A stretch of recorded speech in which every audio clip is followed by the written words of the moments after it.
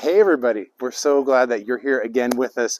We're going to be sharing with you what our garden looks like right now during the first part of spring. I've been waiting and waiting to put this together for you, and it's going to be so amazing to see how these things have done in our backyard. And like I was saying in the video before, um, all of our annuals from last year are just coming back with a vengeance and so I'm really excited to show you that. Everything that you're going to see in the garden right now is are things that have already been established in our garden. We haven't planted anything yet. I'm really excited to start the planting. But it's all been here. So let's just take a look. So you can follow me over here. We're going to start over here on this side. And this is our dwarf Meyer lemon right here and uh, it's just full of blooms, doing great. The bees love this thing. They've been going crazy. I think what I'm going to do here soon is I'm going to cut this back just a little bit, trim it up from the bottom to give really good airflow, and hopefully we'll end up with a lot of lemons this summer and into um, next season. So that's going to be really cool to see how this does. I'm probably going to come by with a little bit of citrus tone as well and fertilize it. I usually do that once a year, so I'll just kind of rough up the ground around there, put some citrus tone in, really soak it nicely, and I think it'll have all that it needs to put on a lot of fruit because right now it's fully loaded and it looks like it's going to do an amazing job this year creating a huge harvest for us. So anyways, that's that. Interesting story about these two things. This is the Supertunia Vista bubblegum that I did a video and a review on a couple weeks ago. And as you can tell, as I was saying in that video, it just went absolutely nuts. This is just a five gallon pot that I planted two plants in um, two years ago. And I cut it back like crazy. And as soon as spring hit and it started warming up around here, it just has gone completely nuts. This is uh, Supertunia, I believe it's a limoncello. And I had, it's looking pretty sickly, but it's blooming like crazy. Funny story about this is I wanted to replace the um, plants on the wall over here that I have in my hanging pots. And so I just, this one was looking really nice still. So I just took it from the hanging pot and planted it in this larger pot. And it's done a great job. I'll probably replace that eventually, but man, it's it's blooming and I have done really hardly anything to it, not even fertilizing it, just keeping it watered here and there and look at that, it's amazing. In this pot right here, we have our strawberries that are coming back and they're starting to set some strawberries like right here we got one and I think there's a couple more in here. But anyways it's full of blooms. Pretty soon we'll have strawberries. Really looking forward to that. Um, strawberries nice and easy to take care of, especially in a big pot like this. I think we have five plants in here and um, I come in and I, in the springtime, which I haven't done so yet, but and I fertilize it with some Berrytone, clear out some of the old debris, and this way it gives it that airflow to do what it needs to do. Anyways, that's going to be a lot of fun to see how those do. All right, so moving over to this little back corner that we put in a couple years ago, and I mean, Look at this, you guys. This is like crazy. Of course, it's full of weeds. I haven't done anything to this yet at all. But the Nemesia, the Aromance pink Nemesia, is just going crazy and um, doing really well. So it's really hard to rip that out. But I am going to have to come in here and clean that out because I have something else planned for this area. And part of the other reason why I'm going to clear this out is because when it gets really warm, it doesn't do very well in the extreme heat. So um, it's going to need to be cleared out anyways, but I've let it go this long and it looks fantastic. So really cool to see that do so well. Here we have our burgundy iceberg rose that just came into bloom. Super like full of blooms and look at this color right here. Isn't that really nice? And the back side of the blooms have like a different color than the front side, which is really cool to see.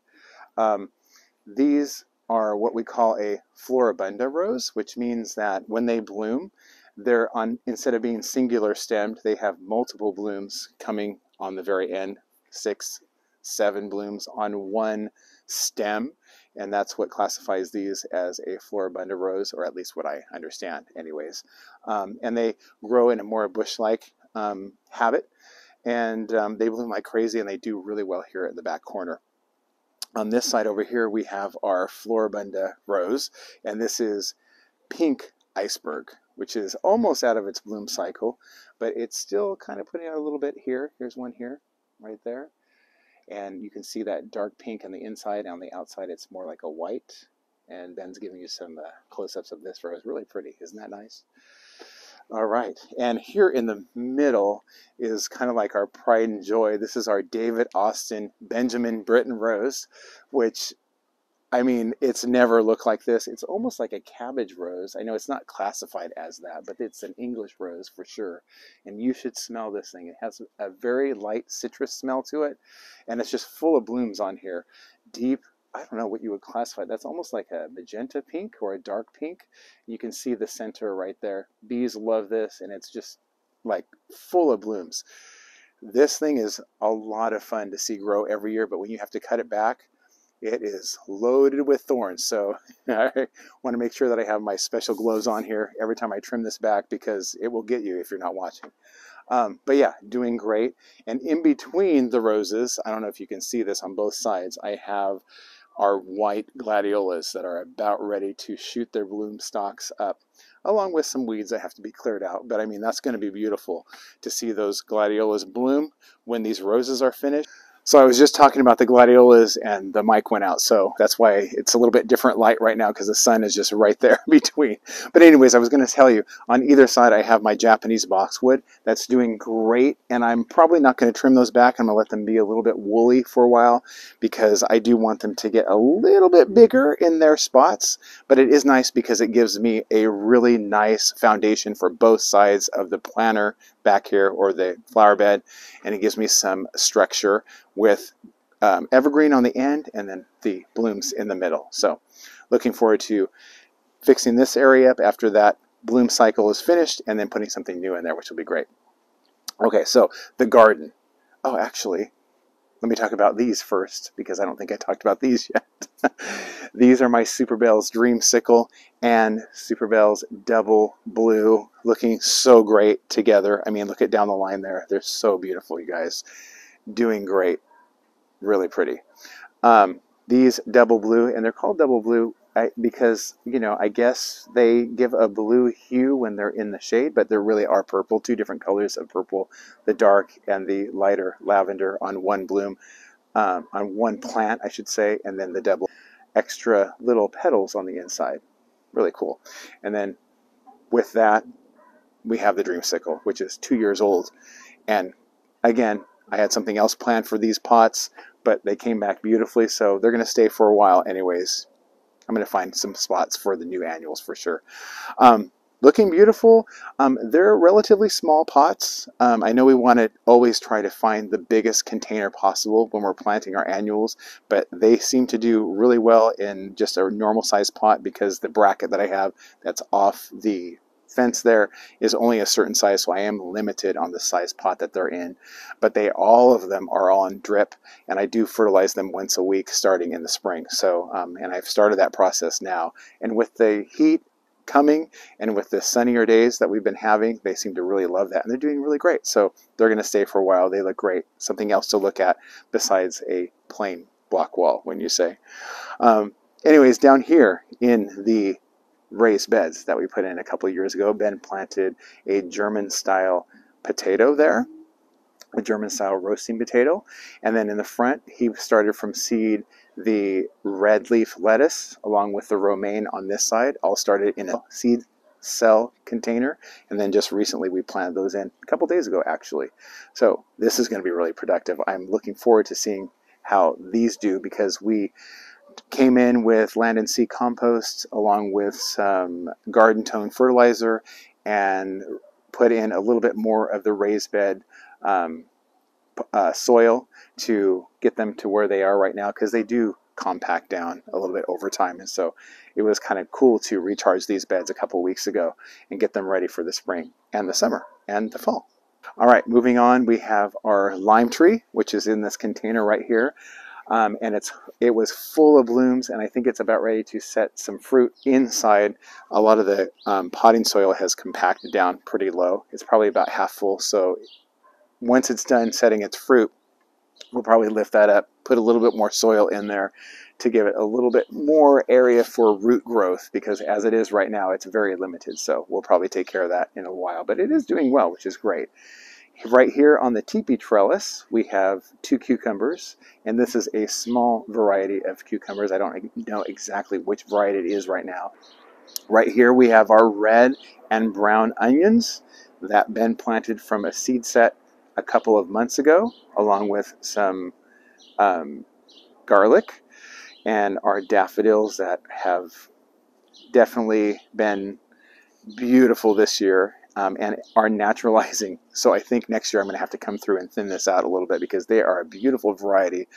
Um, they have on each of their blooms, they have like three or four little tiny blooms on them. And it was just beautiful to see this thing bloom this year. So probably going to uh, thin that out a little bit so I can spread those somewhere else and they'll just continue to naturalize every year, I'm sure. On this side, we have our brand new Proven Winners um, basil, and this variety is Besto Pesto. We ordered those seeds from Proven Winners, started them in a seed cell um, a couple of months ago, and now they're ready to plant. We just planted those today, along with some jalapenos, which is supposedly an early setting um, jalapeno. So it's going to be great. We haven't watered these in yet. We just planted them a few moments ago, actually, and along with a couple more of the um, romaine lettuce right there. So that's going to be cool to see how this garden um, progresses over the next coming months. So now moving on to these pots, I'm going to transplant these boxwoods in a couple of weeks in a bigger pot so I can plant annuals around the base of them. Um, but these are not a Japanese boxwood. These are just like a regular variety. I think uh, we picked them up at Home Depot, but they've done really well. And I think they deserve a bigger pot, so I'll be doing that in a couple of weeks and creating a video on what these look like when I'm done with them. And then, of course, we have this beautiful display of yellow and pink blooms. And this Cherry Star Super Bells has the yellow throat along with the little star that goes out to the end of the bloom there. That looks really nice against the Super Bells yellow. I mean, guys, this is so beautiful. This is a relatively old plant as well. I planted this about two years ago. It's on a stand right here. It's only two different plants in this one container. Container is probably about that big. Um, I had planned on taking this out because I thought it was fizzling out last fall. And so I ordered something in the meantime for this as well. And then this is what happened. So um, fertilizing it, keeping it healthy, and letting it go until it is time to replace it. But I couldn't bring myself to replace this thing. It looks so nice, you guys. When you agree, I love that thing. All right, right here we have our Chrysler Imperial Rose, an old variety tea rose that smells so beautiful. Very strong fragrance, beautiful blooms. They open to this color and they start out this deep, almost burgundy um, color, deep, deep red. Um, an old variety that has been around for many, many years. Um, I'm not quite sure when it first came out. I want to say probably the 40s maybe, um, but beautiful. And on a tea rose, you have one bloom per, per stem for the most part. Every once in a while, it shoot it will shoot off extra blooms, but tea roses are just a great garden variety that everybody should have in their garden for sure. And this is one that definitely deserves to be in this garden because we love the smell of this rose. Really neat. Right here we have our ficus tree that we transplanted a couple of years ago. I just trimmed this back because last fall it got whitefly like a vengeance and basically zapped it of all of its leaves. It lost all of its leaves and I feel like the whitefly may have brought in disease to this plant.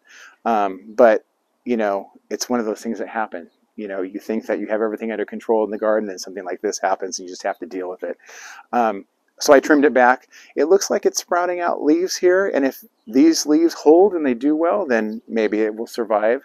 But if it doesn't and it's just sickly, then I'll probably have to uh, get rid of it, which would be really sad because this tree here is like 40 years old. I remember being a young kid um, purchasing this at Kmart, of all places, garden center, and planting it in a container for our front planter at my mom's house when I was a little kid.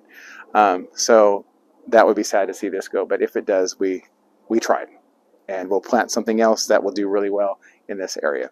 But we hope it survives. Oh my goodness! And then of course this Super Bell's Grape Punch, you guys, in a hanging basket. I mean, so beautiful, just like completely loaded in blooms. I mean, you can't even see hardly any green leaves at all. And this was another one that I had intended on replacing this year. Ordered some Proven Winners annuals in the fall to put in this hanging basket as a replacement. And then spring hits and this happens. And now, my goodness, look at that. So it's going to stay for a while. Beautiful. Super Bells Grape Punch, one of the best um, Super Bells that I know of. Really, but they all do well. I keep saying that, but they really do well. One of the best colors, anyways, that deep purple color. Beautiful.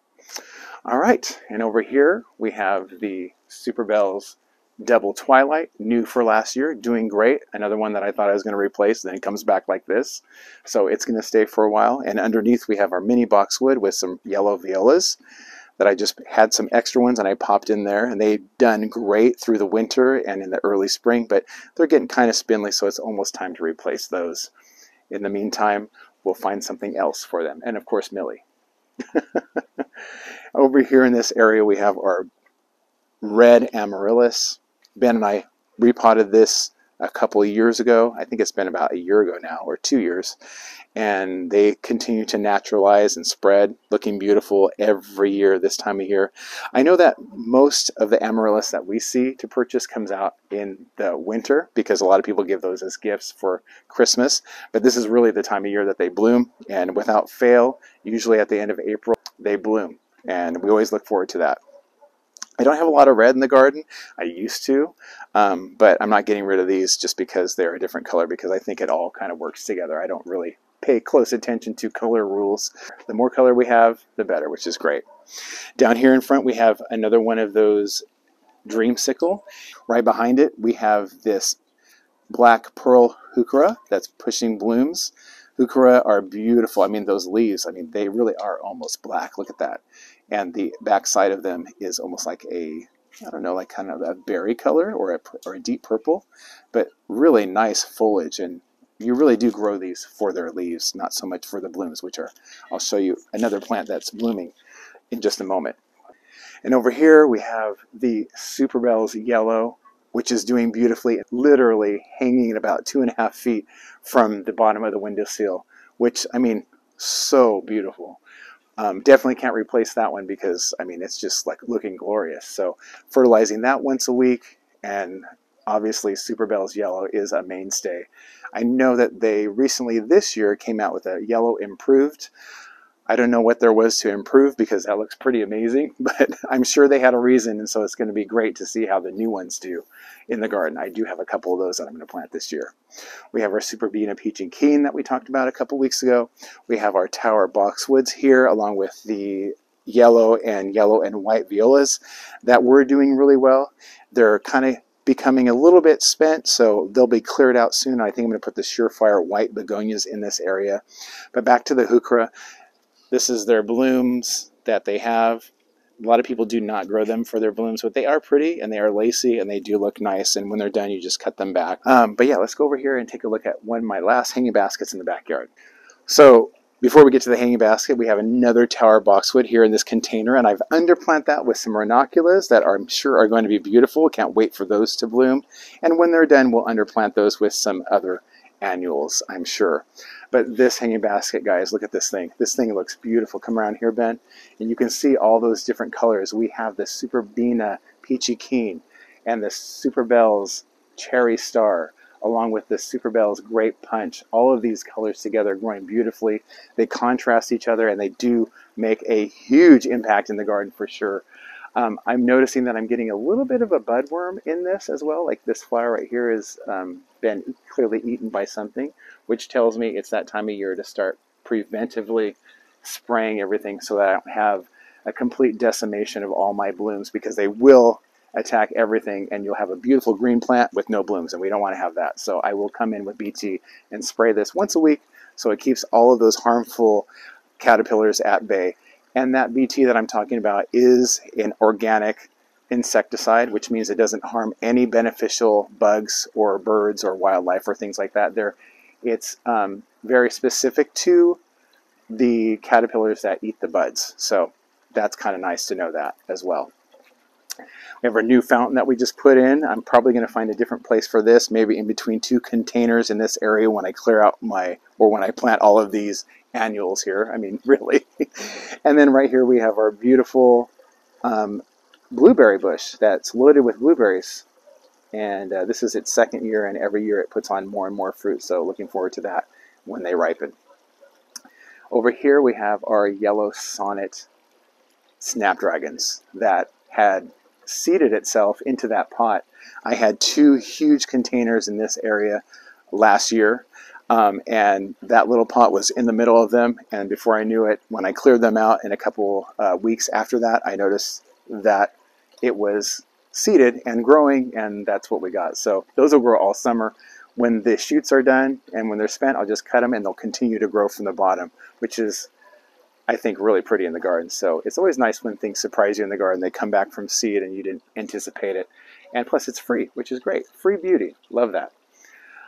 Right here we have our uh, yellow sunflare rose which is a floribunda rose and what I mean by floribunda is lots of blooms on one stem. So you're going to have these cluster of yellow blooms that will look absolutely beautiful. Looking forward to that. And that was fertilized with some rose tone and a little bit of land and sea as well to really give it the boost because it is in a container. And it's always great to give our containers nutrients because they leach out water. And if we don't feed them then they don't grow like they should. So don't forget that. It's really important and I know that you guys are going to be really excited to see what happens when I plant this uh, dwarf Bloomerang purple lilac. I talked about that in my last video, and we plan to put this in the back garden as a beautiful shrub. Since it is small, it won't get too big. And then also in the back garden, we're going to plant this pinnacle hydrangea, which is the, um, I think it's the little quickfire, I believe. Let's see here. Yes, little quickfire hydra pinnacle hydrangea. And it's grown back beautifully and it's ready to be planted. So we'll be planting these two shrubs in the back garden soon, hopefully. This is something new. We picked up this raised bed from Aldi of all places, and we have radish planted here in the front. We have a little bit of sage there growing finally. and then we have cilantro, and then the good-hearted um, tomato. And we have this up in this because the good-hearted tomatoes, they don't grow very tall. They tend to hang over. And if it hangs over in this area, that's totally fine. It's totally different than other tomatoes. Sweet as can be. We grew these last year from seed, just like this one.